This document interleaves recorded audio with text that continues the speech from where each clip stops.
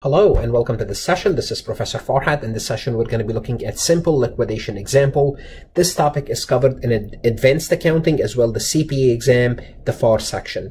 As always, I would like to remind my viewers to connect with me on LinkedIn. YouTube is where you would need to subscribe. I have over 1,500 plus accounting, auditing, and CPA lectures. If you're if you like my lectures, please like them, share them, put them in playlist, let the world know about them. If you're benefiting from them, it, mean, it means other people might benefit as well. So share the wealth. This is my Instagram account. This is my Facebook account. And on my, on my website, you could always donate if you'd like to support the channel. Also on my website, I do have offers. And right now, Becker's CPA Review is offering a $1,000 off. It's a limited offer for the summer on the Becker Bundle 4 parts of the CPA exam. You will have unlimited access and you'll be able to complement, to supplement your college education. Although you might, you are not studying for the exam now, but you can buy the course to use it to prepare for the exam and it will help you with your college career. Becker will have over 2,000 plus CPA questions plus hundreds of hours of lectures by qualified Becker faculty.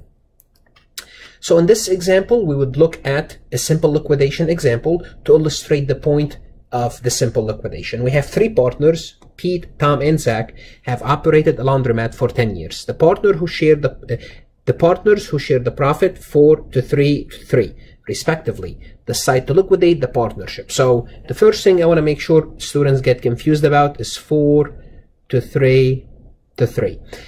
It means what? It means if we take 4 plus 3 plus 3, that's 10. It means this is Pete, Tom, and Zach. Pete share is 4 tenths, Tom's shares is 3 tenths, and Zach's share 3 tenths. So this is 40%, 40%, I'm sorry, 30%, and 30%. This is their, this is their respective shares. Now let's assume we have 4 to 3 to 3. Then one of them left, one of the partners left. And we, we still have 4 and 3. Now we have 4 to 3. 4 plus 3 equal to 7. We still have 4 sevenths and 3 sevenths. So this is what happened if one, if one of them leave the partnership. So you understand how these ratios work. I want to make sure you do so. And they sold they sold their assets for $30,000. This is their balance sheet. They have right now cash of 15. They have other assets of 110 and they only got 30,000 for this. That's not good. They sold it at a loss. Means they're selling it very quickly. That is their liabilities, 42,000, and this is their capital balances. Or their capital balances is a credit, means because it's on the under liabilities and capital and it's not negative. So they don't, they don't have any deficit. And this is where, where, where do they stand from a personal, from a personal level. Pete, that's their personal status. They have 55,000 in assets and 80,000 in liabilities. So Pete basically had a deficit, personal deficit of 25,000. What does that mean? It means don't expect Pete to contribute anything to the to the partnership because Pete's money will have to go and meet his current his personal obligation. Tom, he has 30,000 in personal liabilities 20. If Tom has a deficit, Tom has have some money to to to cover. Zach, his assets are less than his liabilities, so we don't expect Zach to contribute anything to the partnership in case his balance goes into deficit. So the only person that could possibly contribute is that Tom, and Tom can possibly contribute up to 20,000. So let's take a look at the beginning balances and start this process. We have cash of 15,000, non-cash assets of 110, 42,000 in liabilities, 55,000 the credit balance for Tom, 14,000 the credit balance, I'm sorry, 55 for Pete, 14,000 for Tom, and 14,000 for Zach. The first thing they did is they sold their non-cash asset for 30,000 and they had a cost of 110 therefore the partnership will have a loss of 80,000 so the partnership will debit a loss 80,000 debit cash of 30,000 and they will credit non-cash assets of 110. Then we have to allocate the loss to the various partners. So we have to take this loss and allocate it to the various partners. So we're going to debit. We're going to debit Pete's capital. We're going to debit Tom capital. We're going to debit Zach's capital. And we're going to credit the loss of 80,000. How much do we debit and credit? Well, Pete's going to get 40%, Tom 30%, and Zach 30%. Therefore, it's going to be 20, um, 24,000 to Tom, 24,000 to Zach, that's 30% of 80,000, and 32,000 to Pete. Okay, now let's go ahead and allocate. So we're gonna increase cash by 30,000, reduce our non-cash asset. Now our non-cash asset is, is zero. We have cash of 45. Our liability is still 42. We're gonna reduce Pete's balance by 32,000. It's still credit. Tom's balance, we're gonna reduce it by 24. Now Tom's gonna go down to deficit. Now Tom has a deficit. Tom has a deficit now. Tom has a deficit. And we're going to reduce Zach's balance, and Zach has a deficit as well. They both have deficits. So this is what we did. We sold the asset and allocated the loss. Sold the asset, allocated the loss. Okay? Let's clear everything before we move to the next step.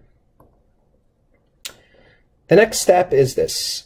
We know now, we know now that Zach has a deficit balance. Now we know Zach has a deficit, balance. And if we look at the prior slide, we don't expect anything from Zach because Zach, his personal asset can barely cover his personal liabilities. Therefore, we don't expect to get anything from Zach. What does that mean? It means we're going to take Zach's, Zach's balance, okay, Zach's balance of 10,000 and allocate the balance to Tom and Pete. Why to Tom? Because Tom will Tom has some cash. Tom will, Tom will eventually contribute some cash to cover his balance, and Pete already has a credit balance. So they're going to be absorbed by by Tom and Pete. How are they going to be absorbed? They're going to be absorbed by the rate of 4 and 3. Okay? 4 plus 3 equal to 7. 4 seventh will go to Pete and 3 seventh will go to Tom. Let's do the computation. So of the $10,000 that Zach's cannot recover times, let me, let's do 4 seventh first. 4 seventh, 4 seventh times 10,000, which is 5,714. 5,714 so we're gonna we're gonna reduce the balance by 5,714 and we're gonna reduce this balance by the remaining which is 4,286 so this balance is allocated to those two okay? Allocated to those two and as a result Tom is went down. His his his account went even further negative deficit to fourteen thousand two eighty six. No worries. Remember, Tom has some money from personal asset. Pete's account still credit, although it's lower. It went from twenty three to seventeen, but he does he does still have some credit in the account. The next thing we're gonna do, Tom's gonna come up come, come up with his share of the cash and by the way, the journal entry for this, kind of so you know what the journal entry is, we debited, I'm just going to show you the journal entry since we're doing the journal entry, we debited Pete's capital, 5,714. We debited Tom's capital, 4,286, and we credited Zach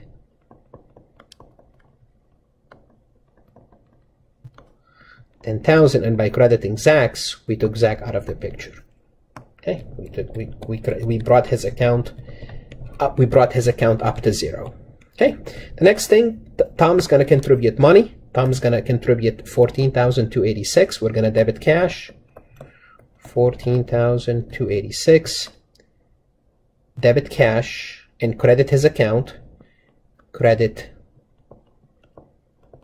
Tom's capital for that amount and by crediting his capital by that amount, we brought his capital up to zero, and Tom is out. Okay, so Zach is out, Tom is out. This is how much cash we have, this is the liability that we have, and this is Pete's remaining balance. The next thing we're going to do, we're going to pay off the liability. We're going to pay off the liability for 42000 We're going to debit. The entry will be debit. Liabilities 42,000 reduce the cash 42,000 so notice cash went down liability went down. The liability is out too. And what we're left with obviously is is Tom. Tom still have 17,286 of capital. And actually we're going to do we're to distribute the remaining cash to him. So we're going to debit Pete's capital 17,286. We're going to credit cash. 17,286. Cash is out. Non-cash assets are gone. Liabilities are gone. Pete's capital is gone. Tom and Zach's gone. We liquidated the partnership. We are gone. Now, if you were asked how much did they pay of the, how much did they pay to the creditors, basically, Zach Zach only paid 30,000 to the creditors because he got 30,000 in assets, 50,000 in liabilities. He couldn't even pay his personal account. He only paid the personal, he couldn't even pay his personal debt. He still have a deficiency of 20,000. That's his problem. Tom has a 30,000 in asset, uh, 30,000 in personal asset, 10,000 in personal liability. Tom only paid 10,000, which is his personal debt, and the remaining 20,000 went to cover his deficit. So paid to the creditor is 10,000. Pete had 55,000 in personal asset and 80,000 in liabilities. Pete paid uh, paid the uh, paid 55,000 to this personal debt. Then he had 17,286 left from the partnership, and this is gonna go. Now the personal creditors can go after this money. So the personal creditors now they, they can go after this money after the final liquidation. And this is what I talked about earlier when I said if you have anything left from the partnership, now the personal creditors can come after you. They were not covered wholly, but at least they, they covered and they recovered additional 17,286. So they came after this money. So the personal creditor came came after this money. Okay, came after this money that Pete's got. Okay because he could not cover them from his personal asset, what's left in the partnership, now they have access to it. If you happen to visit my website, please consider donating. If you're studying for your CPA exam, as always, study hard. It's worth it. Good luck and see you on the other side of success.